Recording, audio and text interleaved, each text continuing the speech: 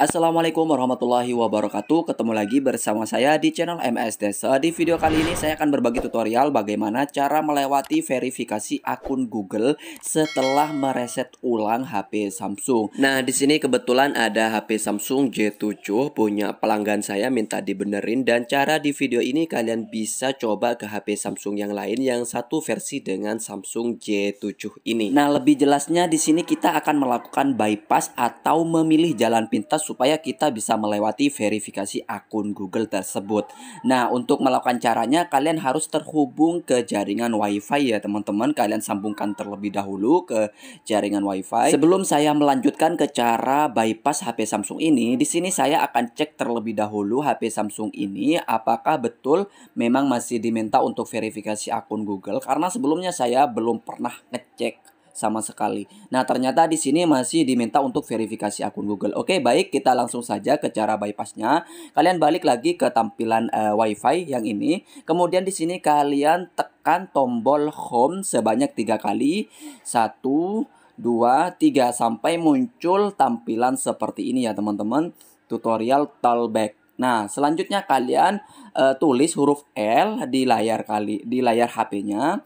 Oke, di sini saya akan ulangi lagi kalian sentuh kemudian kalian uh, tulis huruf L seperti ini sampai muncul menu konteks global seperti ini ya teman-teman. Kemudian di sini kita pilih uh, menu setelan toolbox. Kemudian untuk masuk ke setelan toolbox ini kalian klik dua kali karena di sini masih aktif toolboxnya ya teman-teman. Jadi kita harus serba klik dua kali. Nah, supaya tidak bikin ribet ke kalian, jadi di sini kita nonaktifkan setelan toolbox-nya dengan cara kita tekan kembali tombol home sebanyak tiga kali sampai uh, setelan toolbox-nya nonaktif. Ternyata di HP ini tidak bisa menonaktifkan setelan toolbox-nya di halaman ini. Kita lewati saja, kita masih bisa nonaktifkan setelan toolbox-nya di halaman berikutnya. Kita keluar, sekarang kita fokus ke tutorialnya. Kita ulangi lagi seperti yang tadi tadi tekan tombol home sebanyak tiga kali sampai muncul ke halaman tutorial Toolbox. Kemudian kita tulis huruf L. Di menu konteks global ini kita pilih setelan Toolbox. Kemudian kita klik dua kali untuk masuk. Karena di sini punya saya tidak bisa dinonaktifkan, jadi harus pakai dua jari uh, supaya bisa scroll atau bisa geser layar HP Samsungnya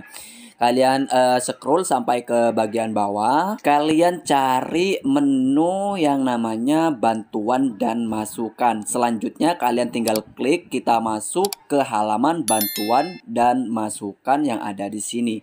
Nah, di menu bantuan ini kita masuk ke pencarian. Selanjutnya di bagian pencarian ini kita tulis huruf Y atau kalian tulis YouTube. Nah, di sini saya akan tulis huruf Y sampai muncul tulisan seperti ini. Langkah selanjutnya di sini kita pilih bagian tulisan yang berhuruf Cina ini.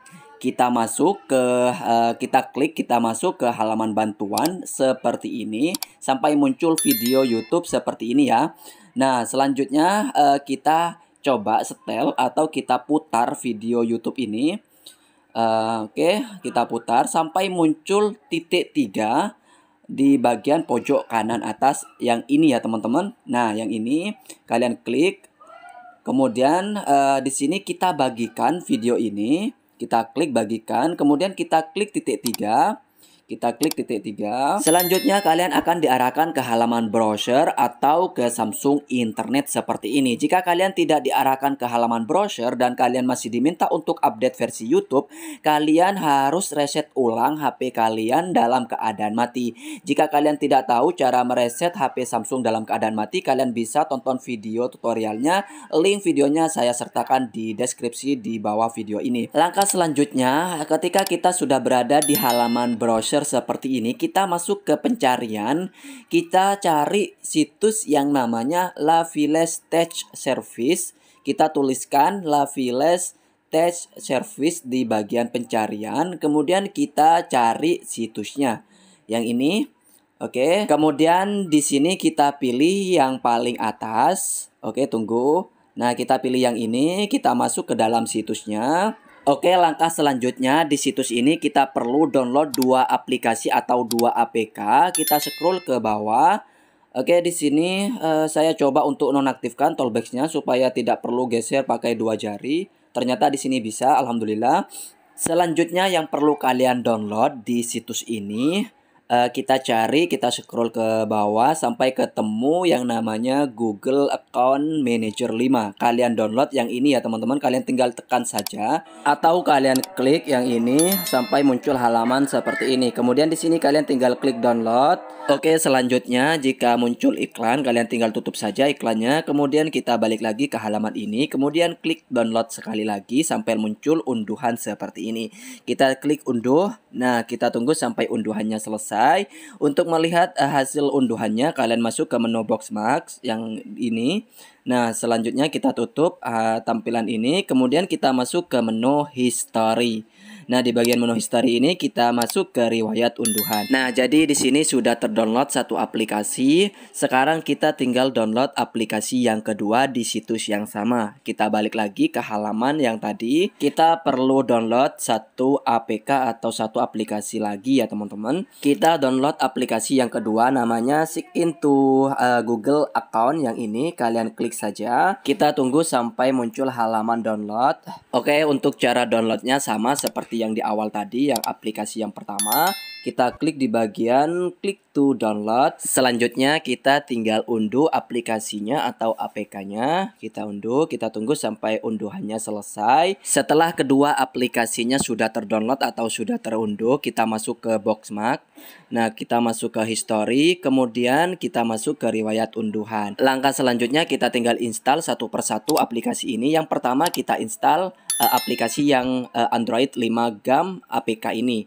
Nah, kemudian kita masuk ke setelan, kita izinkan dari sumber lain atau izinkan dari sumber ini. Nah, selanjutnya kita tekan uh, back, kita balik lagi ke halaman sebelumnya, kemudian kita klik berikutnya. Selanjutnya kita tinggal install saja aplikasinya. Oke, kita tunggu sampai installnya selesai. Oke, setelah selesai kita klik tombol selesai. Kemudian kita install aplikasi yang kedua. Kita install aplikasi VRP Bypass yang ini ya teman-teman. Cara installnya sama seperti aplikasi yang pertama. Oke, setelah berhasil terinstall, kita buka aplikasi yang ini. Kita klik tombol buka. Nah, di sini uh, muncul halaman uh, ketik ulang sandi ya, teman-teman. Nah, di bagian ini kalian masuk ke titik tiga di pojok kanan atas. Oke, kemudian kita masuk melalui browser. Kita klik masuk browser, kemudian kita klik tombol OK yang ini. Oke, selanjutnya di halaman berikutnya kalian uh, siapkan akun uh, Google yang sudah kalian buat di HP lain atau jika kalian belum punya akun Google-nya kalian bisa buat di sini. Cara buat akunnya kalian tinggal klik buat akun kemudian untuk diri sendiri. Nah, selanjutnya kalian tinggal uh, isi nama belakang, nama depan, kemudian kalian uh, buat saja. Oke, okay, karena di sini saya sudah punya akun Google yang sudah saya buat di HP lain. Jadi kalian juga bisa langsung login menggunakan akun Google yang sudah kalian buat di HP lain. Nah, seperti ini. Nah, kemudian uh, kita klik berikutnya. Uh, selanjutnya kita tinggal masukkan password dari akun Google yang sudah kita buat. Kita klik berikutnya sampai berhasil masuk. Nah, jika sudah berhasil login ke akun Google-nya akan diarahkan ke halaman sebelumnya seperti ini. Di langkah selanjutnya kita tinggal matikan kemudian hidupkan kembali HP Samsungnya. Kita tekan tombol power kemudian kita mulai lagi. Oke, kita tunggu sampai HP-nya hidup kembali dan kita coba untuk masuk ke menu ya teman-teman apakah berhasil. Oke, selanjutnya uh, karena HP-nya sudah hidup, kita langsung mulai saja. Kemudian kita sambungkan ke internet atau ke WiFi. Kemudian kita klik berikutnya. Nah, di sini kita setujui semua. Kita klik berikutnya. Oke, di sini akun Google-nya sudah terganti ya teman-teman dengan akun Google yang baru. Selanjutnya kita klik berikutnya, kemudian di bagian ini juga klik berikutnya sekali lagi. Nah, di bagian ini kita lewati saja untuk pembuatan polanya. Nah, selanjutnya kita klik lainnya, kemudian kita setujui dan oke. Okay. Oke, di proses uh, di bagian ini kita scroll ke bawah, kemudian kita lewati saja bagian ini. Oke, yang terakhir kita klik selesai. Kita tunggu sampai prosesnya selesai seperti ini. Kita tunggu sampai masuk ke layar utama HP Samsung seperti ini. Oke, ini sudah normal kembali HP-nya, sudah kembali uh, masuk ke menu halaman layar utama. Oke, semoga video ini bermanfaat. Jangan lupa klik tombol subscribe-nya, nyalakan lonceng notifikasinya. Terakhir dari saya, Assalamualaikum warahmatullahi wabarakatuh.